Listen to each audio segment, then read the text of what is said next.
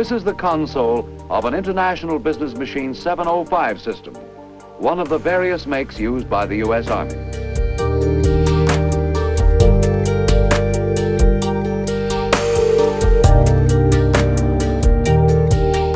Here is a Remington Rand UNIVAC system in operation at the Franklin Institute in Philadelphia, Pennsylvania.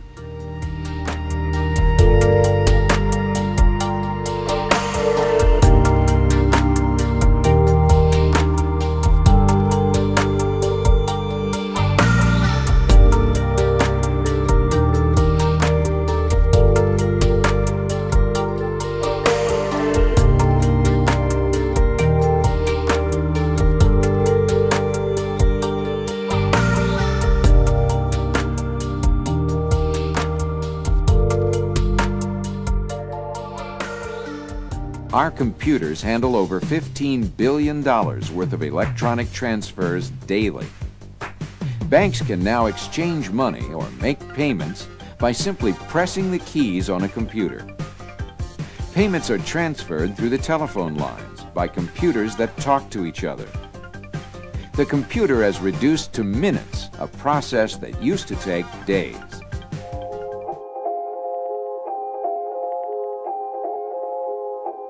Thank you.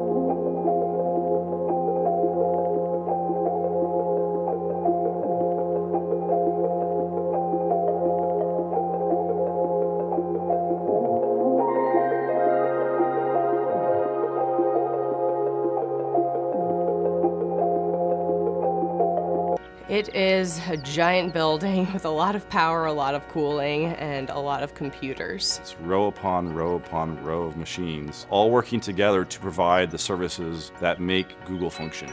Most data centers have air conditioning units along the perimeter walls that force cold air under the floor that then raises up in front of the servers and cools the servers.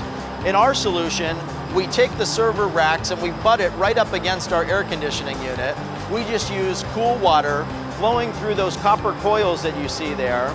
So the hot air from the servers is contained in that hot aisle. It raises up, passes across those coils, where the heat from the air transfers to the water in those coils, and then that warm water is then brought outside the data center to our cooling plant, where it is cooled down through our cooling towers and returned back to the data center, and that process just repeats over and over again. It is the strongest uh, structure in the world and holds more, creates more space than uh, using fewer materials than any other design.